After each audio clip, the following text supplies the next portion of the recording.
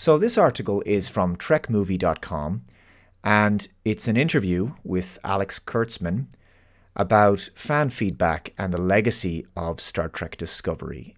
And in the second paragraph, it reads With it all coming to an end, what do you think or hope will be the enduring legacy of Discovery for the franchise? Where does one start with that one? But let's read Kurtzman's reply here. He says, I think there are two things. First, there would be no modern age of Star Trek without Discovery. Whether you loved it or hated it, it kicked open the door for more Star Trek. The idea was never to make one show that pleased everybody. It was to make a lot of shows that please individual segments of the fandom. Because, as everyone knows, there is no one size fits all with Star Trek fans. So I think the key for us was I didn't set out to build the Star Trek universe when we did Discovery, but that is in fact what happened, and I'm really, really proud of that. And I think fans will see that there wouldn't be what exists now without it. The other thing is, obviously, Gene Roddenberry had an extraordinary track record for representation on screen, and the original series set the bar. And I think we quadrupled down on it with this show. I believe we're living very much in his shadow. Hopefully, he'd be proud of it. Okay, what? so let's let's go through this again. Firstly, he says there would be no modern age of Star Trek without Discovery. He says it kicked open the door for more Star Trek. Are we seriously suggesting here that there was no interest in any new Star Trek series until Discovery came along? Of course there was. Uh, let's look at Star Trek Picard. I mean, sure, its first two seasons were bad, but the show didn't need Discovery in order to exist. I mean, let's imagine in an alternate universe where Discovery was never made. Wouldn't that be a better world to live in? Star Trek Picard was announced in 2018. The first season came out in 2020. What exactly would have been stopping Paramount from announcing Star Trek Picard in 2018? I don't think Star Trek Discovery had to exist in order for Picard to exist, right? There's a massive pre existing audience of Star Trek fans who loved the character of Jean Luc Picard, who loved The Next Generation. They would have been delighted to see a Picard series. They didn't need Discovery to reignite their interest in Star Trek, an interest, a passion that was already there. Moreover, the writing and tone in Star Trek Discovery is just awful, in my opinion right? I had very low expectations for Star Trek Picard season 1 as a result. And I couldn't believe that season 1 of Picard was actually worse than I expected it to be. I knew Picard was going to be bad because many of the same people behind Discovery were also working on Picard.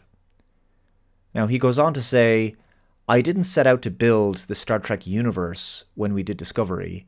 But that is, in fact, what happened. Again, what are you talking about? Star Trek was already a TV universe in the 1990s. From 1993 till 1999, there were two television shows on the air at the same time, and simultaneously, Next Generation films were coming out every two years.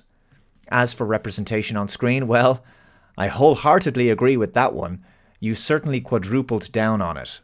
You know, I will never forget this scene from Discovery's third season, episode 5, called die trying when they visit the Federation headquarters in the future.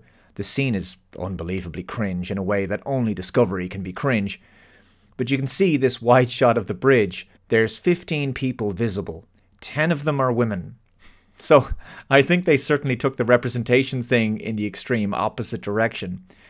Now, he also says it was to make a lot of shows that please individual segments of the fandom, because as everyone knows, there is no one size fits all with Star Trek fans. I don't think there's one size fits all with any fandom. But what I will say is, I really wanted to like Discovery when it came out, but I just couldn't. And I, I still can't. It didn't feel like Star Trek to me. I didn't like the characters, I didn't like the tone or the quality of the writing. I acknowledge that Discovery has an audience, and there's people who love this show, fair enough.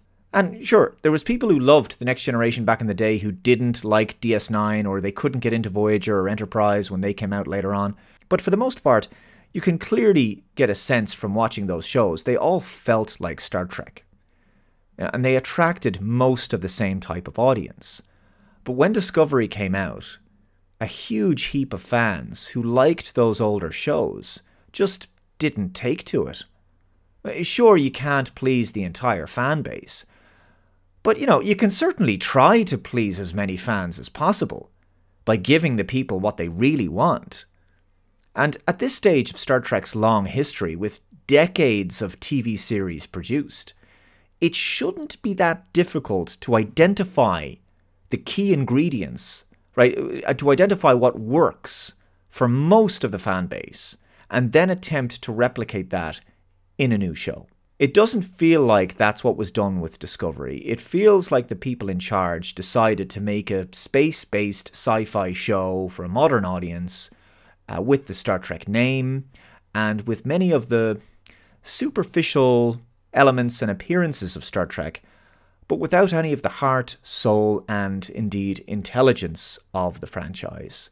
I believe the legacy of Star Trek Discovery is that it was the first really bad Star Trek TV series with few redeeming qualities. Guys, let me know your thoughts in the comments below. Thank you very much for watching. If you haven't already, please subscribe, hit that like button, and share this video. Take care. I'll see you next time. Bye bye.